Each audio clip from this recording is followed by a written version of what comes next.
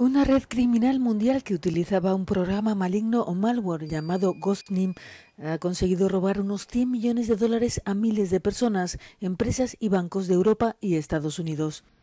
Tres años de estrecha colaboración entre la policía de seis países, coordinada por Europol, ha conseguido desmantelarla. Esta compleja organización dirigida por un hombre desde Georgia lograba acceder a ordenadores privados que eran infectados para sustraer datos del inicio de la sesión bancaria y sacar dinero de las cuentas. Hemos identificado a más de 41.000 víctimas, ciudadanos de Europa y Norteamérica, que no sospechaban nada, que creían que estaban cliqueando en una factura o una notificación.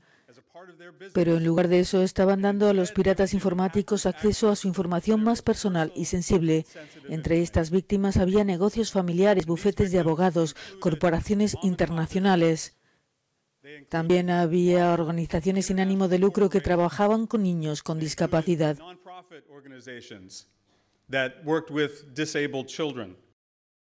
Las fuerzas de seguridad de Estados Unidos, Georgia, Ucrania, Alemania, Bulgaria y Moldavia creen que esta operación constituye un modelo para futuras intervenciones contra estas complejas redes criminales.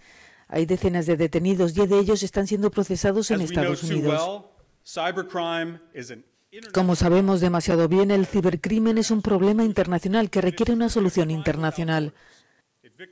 Es un verdadero crimen sin fronteras. Encuentra víctimas en todo el mundo a través de un simple clic que puede causar pérdidas de millones de dólares a individuos y empresas. También sabemos que los criminales, los servidores y sus organizaciones pueden literalmente estar en cualquier lugar del mundo. El cibercrimen representa la actividad criminal a un tamaño y escala que no vemos en otros ámbitos de la actividad criminal.